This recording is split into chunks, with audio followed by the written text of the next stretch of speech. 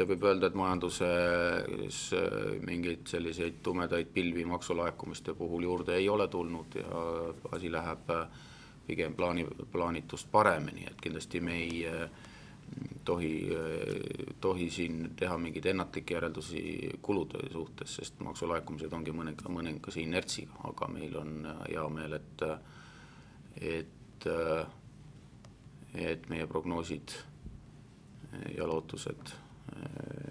peavad vett ja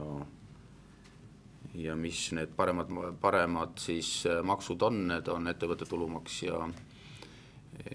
ja käibemaks paremini laekuvad, üks eh, viitab kindlasti eelkõige siis eelmise aasta tõusvale majanduskasvule eelkõige. Äh, investorite käitumist on noh, selle siin nagu raske hinnata, et kas on äh, küsimus julguses välja võtta dividende või rohkem või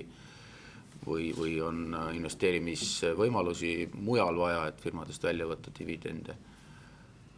või hoopis vastupidi, aga, aga nii et see, see, see number iseenesest on, on see käitumise pool on, on raskesti hinnatav, igatahes eelmise aasta majanduskasv ka, kajastub meie maksulaekumistes praegu väga positiivselt. ja teine on käibemaks, mis viitab nüüd tarbijakindluse paranemisele, et inimesed, inimesed usuvad, usuvad, et äh, olukord on neil, lubab, lubab tarbida